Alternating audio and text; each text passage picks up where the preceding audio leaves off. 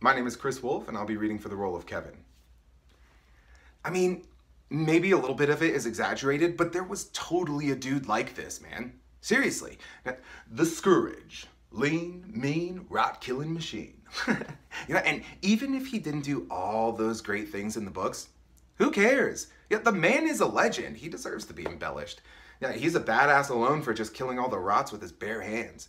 Yeah, he didn't have a gun, but he did have that uh that badass armored police suit and that dope tank. He's like a like a Mad Max in a future where the outbreak never got cured.